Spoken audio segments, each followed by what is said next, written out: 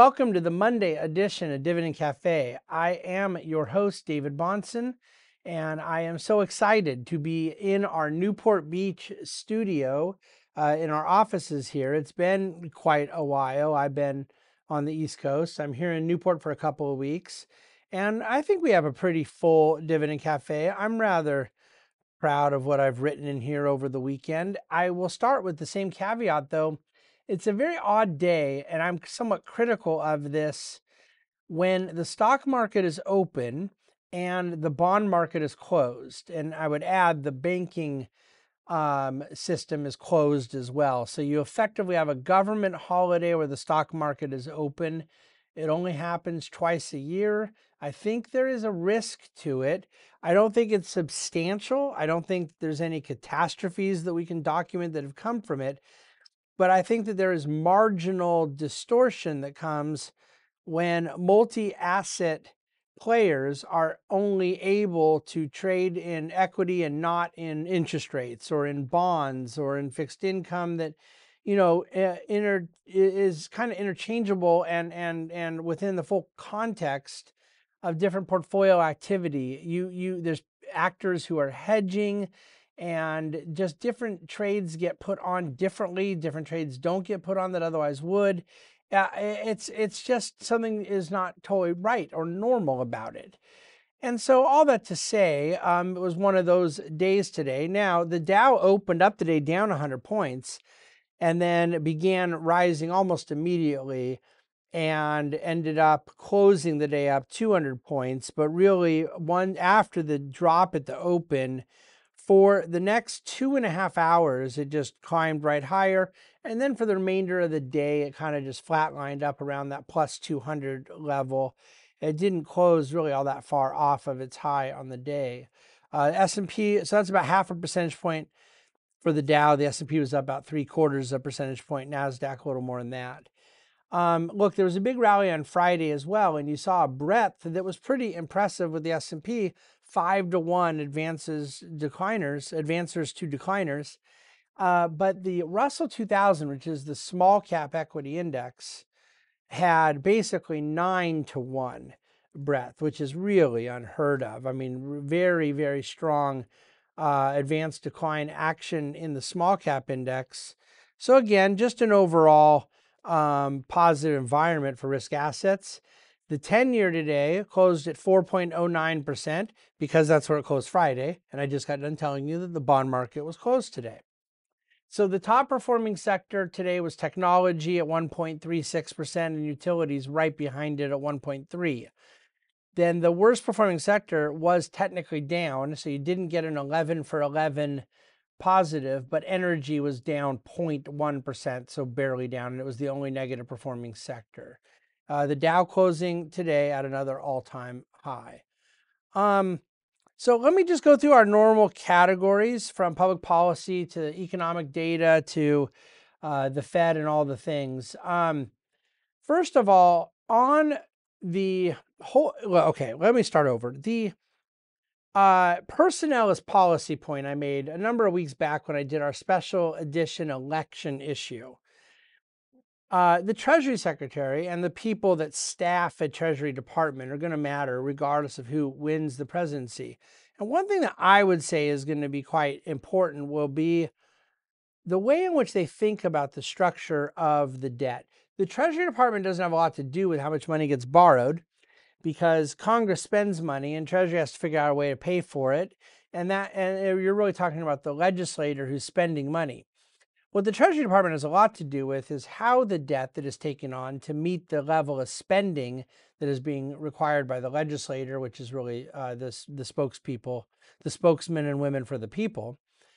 Um, the Treasury Department has a lot to do with is how the debt gets structured. And like, for example, right now, 90% of our debt is at a fixed rate and only about 10% is at a variable rate. And most of that, not quite all, but most of the floating, uh, the variable is in what we call TIPS, Treasury Inflation Protected Securities, where the amount of money that it costs uh, to borrow is variable around where the inflation rate goes. It fluctuates. And I think TIPS are one of the greatest economic inventions in financial markets ever concocted but it's it represents a big dollar amount of activity, uh, a couple trillion dollars, but it isn't a huge percentage of federal borrowings. Now, when you look at the 90%, um, 22% are in what's called T bills, which are very, very short term. So those rates are constantly resetting. But then 50% are in what's called uh, T bond, excuse me, T, uh, I say this backwards all the time, um, uh, Treasury notes, where the maturities are about two to 10 years, so kind of more intermediate term. And it is only 16% of total federal debt that is in a locked rate that is longer term, 10 plus. So those 20 year maturities, those 30 year maturities is only 16% of total debt. And I think this is suboptimal. I think it'd be much better uh, even if part portion of the debt uh, was locked at a, high, slightly higher borrowing cost to for financial markets to know it was fixed and that there wasn't a constant resetting of, of debt that was at a higher price. Now, I say all that knowing that the Fed is in the midst of cutting the short term rate, and this is one of the biggest things that's going to move the deficit down next year, is depending on how quickly they lower rates and how much they lower rates. Having that amount of money that is two years and less in maturity means that there's a, a significant amount that could very well end up being rolled over into lower than the price it is now. And so that may be the whole point here as to why rates are coming lower is to reduce some of that deficit pressure. Uh, it's certainly a big part of what I believe their calculus to be. Um, just kind of interesting comment on the uh, uh, uh, tribalization in our political atmosphere that I talk about a lot. Um, I found this data point to be quite interesting as we get closer to the election that there were seven states in 1996 where the outcome on president was 20 percentage points apart um, or more. There were 19 states like that um, in 2020. So, uh, so many of the blue states have gotten bluer, and so many of the red states have gotten redder that it has made these battleground states the real crux of where elections are determined. Those happen to be so tight that that's where you get this. But again, just having um, not merely that there's certain red states that are clearly going to go red or blue, they're going to go blue, but that they are going to go by such a wide margin changes the need for campaigning there for policies that make sense across the board. It limits the kind of national political spectrum in a way that you, we should not be surprised it exacerbates some of the tribalization. On the economic front, um, the PPI number came out on Friday and it was unchanged 0% move in producer prices month over month. Year over year, it's down to just 1.8%. But again, I want to keep pointing out that intermediate processed goods and um, unprocessed goods are at outright deflation. Intermediate unprocessed goods uh, prices are down 9.5% from where they were a year ago, uh, processed down 2.7. So in in core in, in goods for consumers and in uh, producer prices of processed and unprocessed goods, we are basically at zero percent or less uh, inflation in, into outright deflation. It's of course services, housing messing stuff up.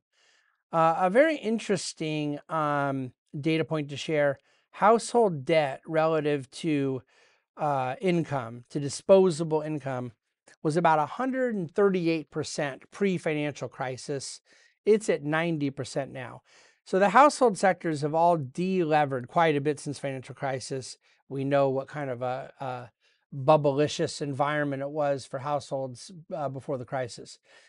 Um, but then, of course, the the household uh, sector delevered while the government level relevered and then some, and so you've just sort of switched places in the that amount of financial leverage. The actor holding it moved from the household to the government. Uh, then, anecdotally, Broadway show attendance is now tracking back to 2019 levels with uh, the highest ticket prices they've ever had, and yet the the attendance is well above the 2022 and 2023 level, back to pre COVID. Um, obviously, 2020 and 21 were out through the the closings and lockdowns and all that. Um, an interesting point to make on housing.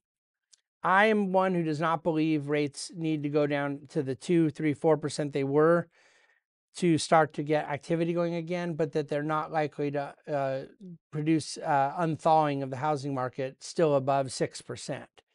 And so there's some threshold at which I believe sellers start being willing to move.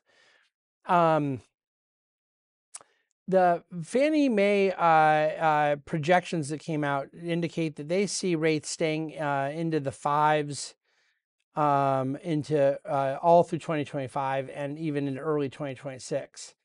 So we may be a year, year and a half away till you start seeing mortgages in the 4% and and some thawing of the market. I don't know that it'll take that long and I don't know what it will take to get sellers to start moving, but there's very limited activity. Rates are not going to come down violently in the housing market. It's important to note.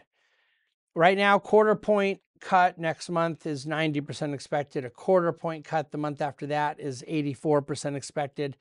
The idea of two half point cuts is at 0%. The idea of two 0% cuts is at 0%. So we're kind of in the middle there, a quarter point at both meetings in the Fed, for the Fed. Oil down 2% today, closing back down to $74. Uh, lower, uh, excuse me, higher than the low 70s it had been in, but higher than the high 70s it had been in. Um, OPEC reduced their forecast for current oil demand, uh, expecting oil consumption to be, um, again, it's still 1.9% higher from prior levels, but that, that rate of growth has come down three months in a row in OPEC productions. Big week again last week for the whole energy sector. Oil was up, energy stocks were up, midstream up another 1.5%. Please, please, please read dividendcafe.com today, the Monday edition for the Ask TBG about the yield curve and recessions, and the Ask TBG about Against Doomsdayism with two links that I absolutely love.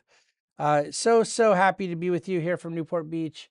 Uh, reach out with any questions anytime. Questions at thebahnsengroup.com very uh, much look forward to the big week ahead as we are coming now here into the middle of October. Thanks for listening. Thanks for watching. Thank you for reading The Dividend Cafe.